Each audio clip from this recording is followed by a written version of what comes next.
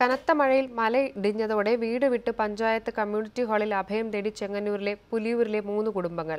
വീടിന് സമീപത്തെ പൂഴിമലയാണ് ഇവരുടെ ജീവന് തന്നെ ഭീഷണി ഉയർത്തുന്നത്.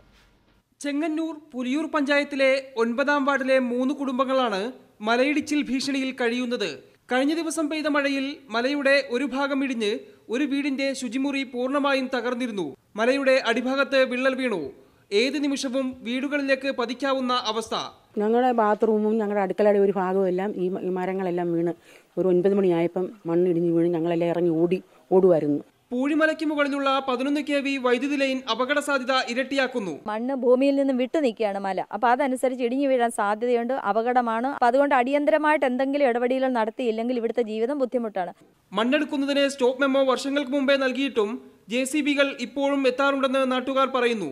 കൃഷ്ണകുമാറിനൊപ്പം മുഹമ്മദ് കൗസർ ഏഷ്യനെറ്റ് ന്യൂസ് തിരുവല്ല.